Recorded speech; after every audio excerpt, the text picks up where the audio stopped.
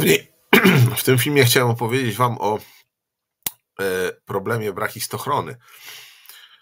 E, myślę, że żeby to wszystko było lepiej widoczne, chociaż może jeszcze nie. E, chcę Was zabrać do drugiej połowy XVII wieku. W Europie powstało już pierwsze towarzystwo naukowe, Royal Society w Anglii. Prezesem towarzystwa jak pamiętacie, w pewnym momencie został Samuel Pepys, wybitny e, administrator i działacz e, administracji publicznej, e, osoba, która bardzo pomogła przekształcić niewydolną administrację królewską w coś, co zwalibyśmy dzisiaj administracją cywilną. I o czym wiemy bardzo wiele z jego znakomitych pamiętników, które lekturę bardzo Wam polecam, bo jest to jedna z moim zdaniem ważniejszych książek o, o rozwoju naszej cywilizacji. Y, w tym czasie pojawiają się też pierwsze periodyki naukowe, a w ogóle y, triumfy świętuje oświecenie. Ludzie uwierzyli w to, że mogą badać, umieją badać świat wokół siebie za pomocą narzędzia, za pomocą swojego rozumu e, zadawać pytania, wykonywać eksperymenty, mierzyć i e, wyciągać wnioski. Powstają pierwsze czasopisma naukowe. To jest prawdziwy przełom. Do tej pory e, ci światli ludzie korespondowali po prostu ze sobą. Poczta działała zupełnie dobrze, ale w 1660 roku powstają Philosophical Transactions of the Royal Society, czasopismo naukowe wydawane przez Royal Society. O, tutaj muszę, nie powinienem zapomnieć udostępnić tej karty. A tam 18 lat później, czy 17 lat później, Acta Eruditorium, Eruditorum y, w, y, jako niemieckojęzyczne czasopismo. Oba te adresy e, e, możecie znaleźć klikając sobie tutaj na te linki. E, link do tablicy dołączę do informacji o filmie i wyślę Wam także, jeśli w momencie, kiedy będę wysyłał streszczenie. No i w czerwcu 1686 roku w tymże akta eruditorium Jakub Bernoulli, jeden y, z, Johann Bernoulli, jeden z wybitnych matematyków, filozofów przyrody tego okresu, publikuje problem i wzywa kolegów do rozwiązania tego problemu. Mianowicie no, mamy dwa punkty A i B. I teraz chyba pora, żebym się zmniejszył. Mamy dwa punkty A i B. I jak wygląda krzywa, po której zsuwający się bez starcia punkt materialny pod wpływem siły grawitacji e, dotrze z punktu A do punktu B w najkrótszym czasie. E, brachistochrona, bo brachistos chronos to jest najkrótszy czas. No i najwybitniejsi e, matematycy zabierają się za rozwiązanie tego problemu. W styczniu 1987 roku informacja o tym, list od Bernoulliego dociera do e, Newtona, który był wtedy mm, dyrektorem królewskiej mennicy.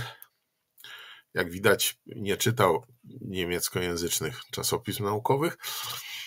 E, podobno wrócił z pracy o czwartej, odczytał ten list, e, rzucił się w wir obliczeń i o czwartej rano znalazł rozwiązanie, które opublikował anonimowo. E, ale Bernoulli domyślił się, o kogo chodzi, i stamtąd pochodzi takie słynne powiedzenie: lwa poznać po jego pazurach. Otóż, e, no, na czym polega ten problem? Tutaj mamy e, symulację. Zaraz zobaczymy, czy wyłączony jest dźwięk. E, mam nadzieję, że jest wyłączony. E, są różne tory. ten tor, po którym porusza się żółta kulka, to jest właśnie brachistochrona. I popatrzcie teraz w zwolnionym tempie. Mm, kulki sobie poruszają się po tych torach. No i tam po 30 sekundach zobaczymy, która z nich będzie najszybsza. To, że kulki się toczą, jeśli toczą się bez tarcia, to nie ma wpływu na sformułowanie tego problemu.